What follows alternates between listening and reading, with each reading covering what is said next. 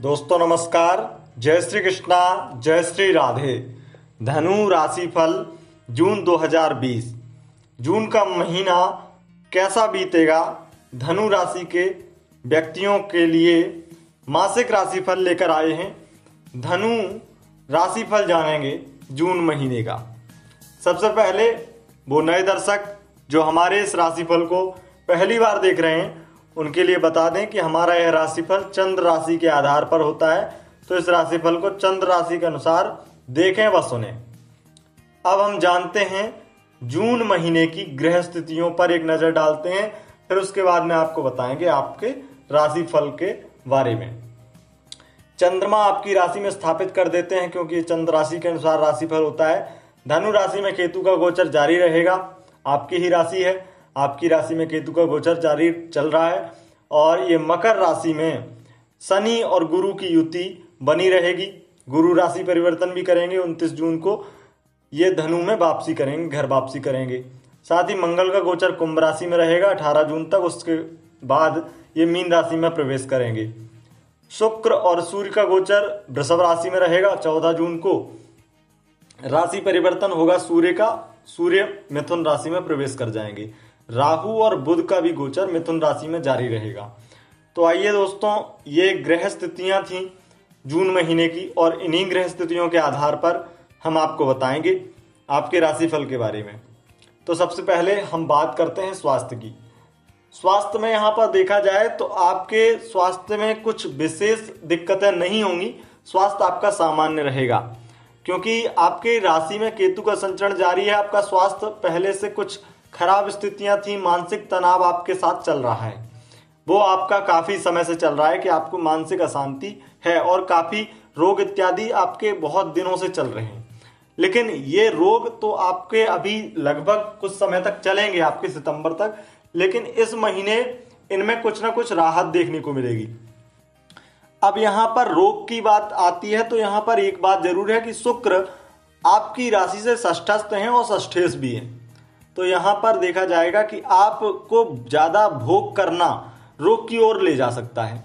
ज़्यादा भोगी बनेंगे तो रोगी बना सकता है ये। शुक्र यहाँ पर आपको ऐश्वर्य का भोग, लग्जरी लाइफ का भोग, या आप कहें संभोग संभोग या शारीरिक भोग, कैसे भी देखा जाए तो यहाँ पर अगर आप ज़्यादा ही आलस्य में डूबते हैं, या ज़्यादा संभोग में डूबते हैं, या ज़्यादा मनोरंजन में डूबते हैं तो इससे आपको रोग ही मिलेगा।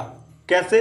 अगर आप इंटरटेनमेंट में ज़्यादा ही दिलचस्पी लेकर के मोबाइल में लगे रहते हैं या टेलीविज़न पर टीवी इत्यादि पर कैसे भी अपना मनोरंजन करते हैं तो उससे आपकी आँखों पर और आपके माइंड पर प्रभाव पड़ेगा और उससे क्या है, आपको मानसिक तनाव होने लगेगा। ये इंटरटेनमेंट क्योंकि शुक्र से ही देखा जाता है। साथ ही साथ अगर अभी आप देख रहे होंगे कि आप भोग की ओर अग्रसर ज़्यादा हो रहे हैं तो अगर भोग आप करते हैं, संभोग की बात करूँ मैं तो शारीरिक भोग इत्यादि संभोग करते हैं आप अपने पार्टनर के साथ या अफेयर इत्यादि में भी।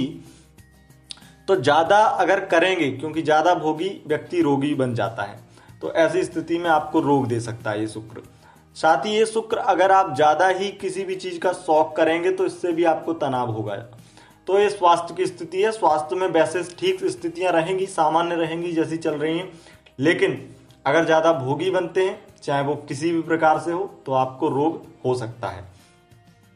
अब अगर हम बात करें धन के, संचय की तो यहाँ पर धन की स्थिति बहुत अच्छी है। शनि की स्थिति काफ़ी धन लाभ की स्थितियाँ बनाते हुए नज़र आएगी। ये आपकी एक तरह से ये भी कह सकते हैं कि हम काफ़ी हद तक आपकी जो धन की कमाई होगी, वो एक गलत तरीके से हो सकती है। आप कहीं से रिश्वत लेकर के आप अपने कार्य क्षेत्र में कैसे भी अलग अलग तरीकों से टेबल के नीचे वाला धन, यानी कि हर प्रकार से आपका जो धन होगा वो दूषित धन कहा जाएगा, जहाँ तक है। क्योंकि आप ऐसे कार्य करेंगे या आपसे होंगे ऐसे कार्य, जिससे आपका दूषित धन आपके पास में अधिक मात्रा में आएगा। तो यानी कि यहाँ पर कमाई की मात्रा बहुत अधिक दिखती है। चोरी, डकैती सट्टा लाटरी इनकी यहाँ पर ज़्यादा आपके अंदर सोच ज़्यादा हो जाएगी। तो सट्टा लाटरी, चोरी डकैती मतलब इन चीज़ों से धन का अर्जन आप ज़्यादा ही ज़्यादा करेंगे।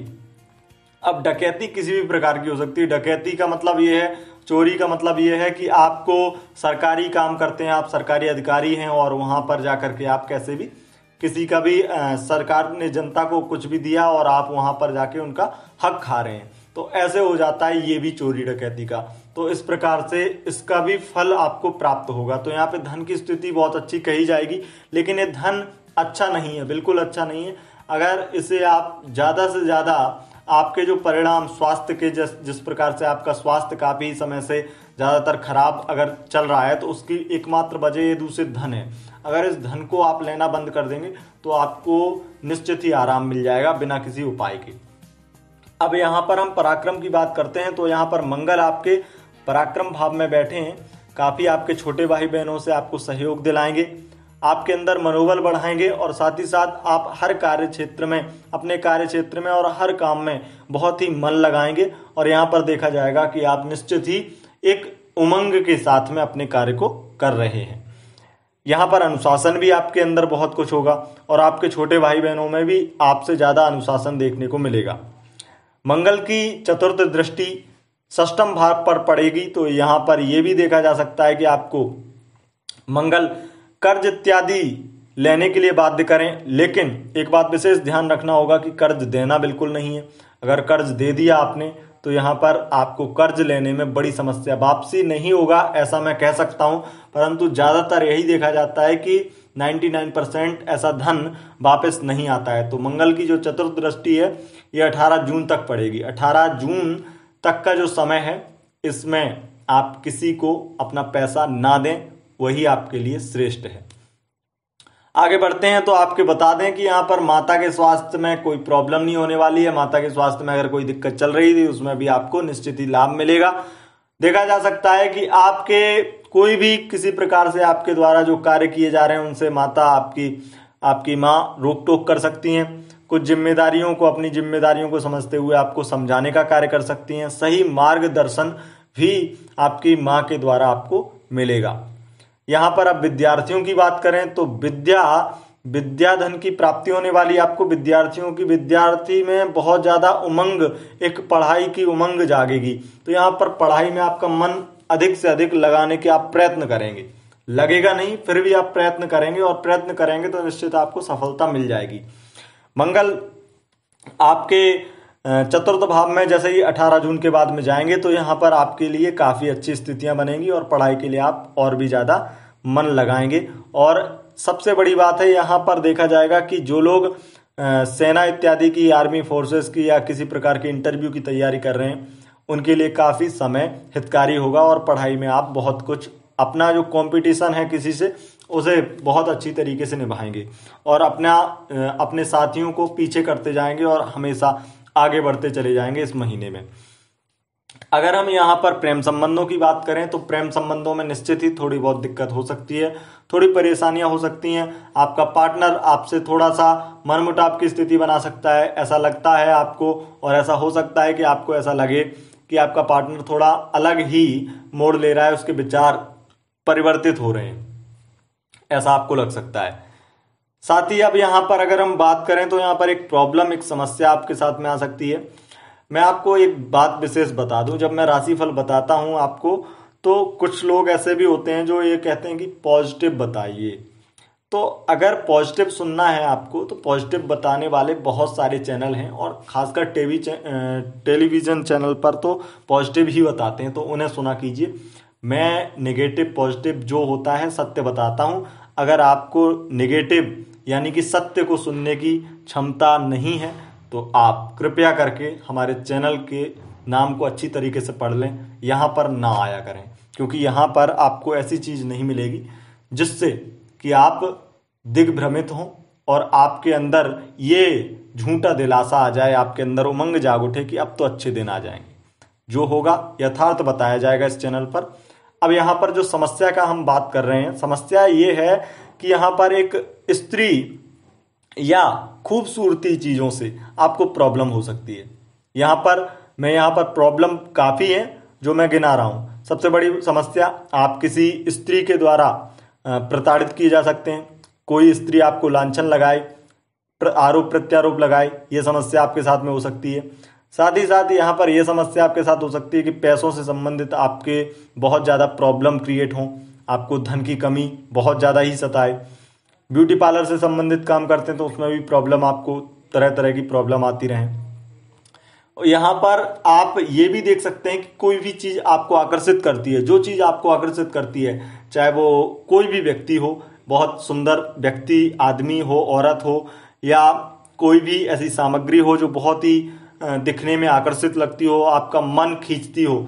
अगर चार लोगों के बीच में भी एक व्यक्ति खड़ा है और आपका मन खींच रहा है तो समझ लीजिए वो व्यक्ति आपके लिए काफ़ी नुकसानदायक हो सकता है। उससे रिश्ते बनाना आपके लिए बहुत ज़्यादा नुकसानदायक हो सकते हैं। ये आपको तब पता चलेगा जब वो नुकसान आपका कर देगा। हमारा काम है आपको सावधान करना तो सावधान रहिएगा, निष्फिक्र हो जाइएगा। साथ ही दोस्तों, आप दाम्पत्य जीवन की बात कर लेते हैं तो दाम्पत्य जीवन में यहाँ पर निश्चित ही परेशानी आएगी। दाम्पत्य जीवन में मतभेद की स्थितियाँ रहेंगी और खासकर यहाँ पर 14 जून तक जो स्थितियाँ रहेंगी, वो ठीक रहेंगी, लेकिन उस 14 जून के बाद में जो स्थितियाँ बनेंगी, वो निश्चित ही आपके लिए परेशानी खड़ा कर सकती हैं। परेशानियाँ कुछ इस प्रकार होंगी कि मतभेद, कलह की स्थिति बनती नज़र आए और बात बात में चिड़चिड़ापन आपके पार्टनर के द्वारा कुछ ऐसे शब्द बोले जाएँ जो आपको अप्रिय लगें और उन पर आप जो अपना रिएक्शन करें तो उससे आपको हो सकता है कि छोटी मोटी प्रॉब्लम हो जाए। तो इससे कोई बड़ी प्रॉब्लम नहीं है। छोटा मोटे जो कलह रूपी घर में आजकल चलता रहता है, उसी प्रकार से छोटी मोटी समस्या आएगी। उसे अगर आप बहुत ही शांति से और मन को संतुलित करके चलें तो कोई समस्या नहीं आएगी, उसे आप सुलझा पाएँगे। पार्टनरशिप के व्यापार की बात करें तो पार्टनरशिप का व्यापार बहुत ही ज़्यादा खिन्न भिन्न रहेगा, तनाव की स्थितियों में रहेगा। पार्टनर के जो व्यापार हैं आपके पार्टनरशिप के, उसमें बहुत ज़्यादा आपको नुकसान हो सकता है तो स्थितियाँ बहुत अच्छी नहीं रहेगी। अगर यहाँ पर हम आपको भाग्य की बात करें तो भाग्य का सहयोग आपको मिलता हुआ कम नज़र आएगा, आपको ऐसा लगेगा कि किस्मत आपकी साथ नहीं दे रही है। ऐसी स्थितियाँ आपके साथ में बनेंगी। लेकिन यहाँ पर आपका कोई भी कार्य अगर बनने वाला होगा, यहाँ पर देखा जाएगा कि कोई भी कार्य आपका बनने वाला होगा तो आसानी से नहीं बनेगा। बहुत मशक्कत करने के बाद कहीं जाकर के आपका कोई काम बने, ये स्थितियाँ रहेंगी। आप अपनी जिम्मेदारियों को बखूबी निभाएँगे और समझेंगे। जिम्मेदार इंसान पूरी तरीके से अपनी जिम्मेदारियों की चिंता भी करते नज़र आएँगे। यहाँ पर करियर, व्यापार और नौकरी की बात करें, लाभ, धन लाभ की स्थितियाँ बहुत ही कम बनेंगी। नौकरी इत्यादि के तो जाने के संकेत भी लग रहे हैं, क्योंकि जो नौकरियाँ, क्योंकि बहुत सारी नौकरियाँ, क्योंकि देशकाल परिस्थिति के अनुसार जाएँगी जाएँगी, लेकिन किन लोगों की जा सकती हैं, ये स्थितियाँ हैं उन लोगों की, क्योंकि ये नौकरियाँ जो जाएँगी, ये नौकरियाँ ज़्यादातर मल्टीमीडिया के क्षेत्र से जो लोग इंटरटेनमेंट के क्षेत्र से भी कुछ नौकरियाँ जाएँगी, और ये स्थितियाँ बनेंगी कि आप अगर टीचर इत्यादि हैं तो उसमें भी आपको हो सकता है कि प्राइवेट टीचर हैं या प्रोफेसर हैं, उसमें कहीं ना कहीं नुकसान हो सकता है नौकरी इत्यादि का।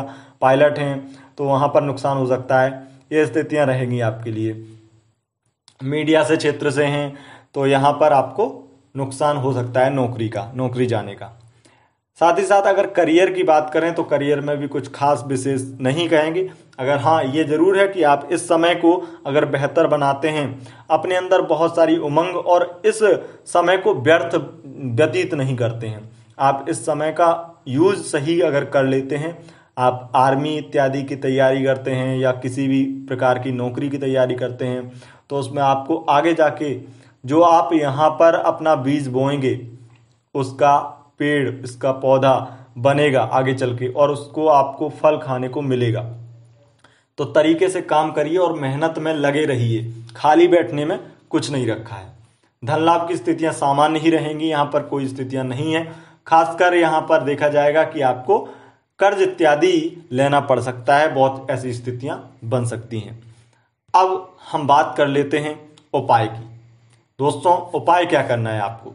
उपाय को जो कि बहुत ही शानदार उपाय आपके लिए, देवगुरु बृहस्पति के मंत्र का जप कर सकते हैं आप, या आपने दीक्षा ले रखी है, गुरु दीक्षा का मंत्र जो दिया था उसको जप कर सकते हैं, या आप गायत्री मंत्र का जप कर सकते हैं। इन उपायों को करें, बहुत ज़्यादा ही आपको लाभ होगा।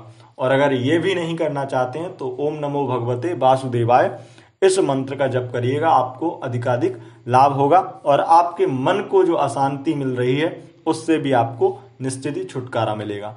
तो दोस्तों, यह था जून महीने का राशिफल।